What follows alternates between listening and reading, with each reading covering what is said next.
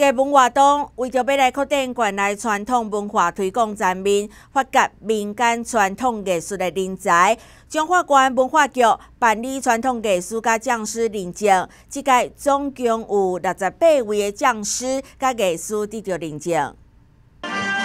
都是大书记的唱书甲艺术一一结合证书。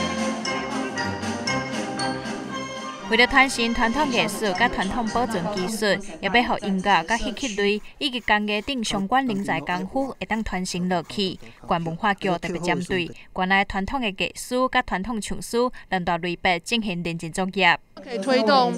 未来在老屋的修复的时候，这些匠师们的手艺都可以传承下去，工艺能传承下去。那传统的戏曲呢，也透过这些。艺师们，我们未来在推展到校园的扎根的时候，可以让南北馆跟呃高甲戏这些传统戏曲，入港呃鹿港还有彰化县整个大家我们传统的这些戏曲之美，还有工艺之美，可以。可以透过文字零点八老师们的手上传承下文化局指出，第一波新早合格认证者包括传统音乐类艺术十二个人，传统戏剧类艺术七个人，传统工艺类艺术二十二个人，唱书二十七个人，拢代表着中华县内丰富的团结生命力。中华新闻张世良中华采访报道。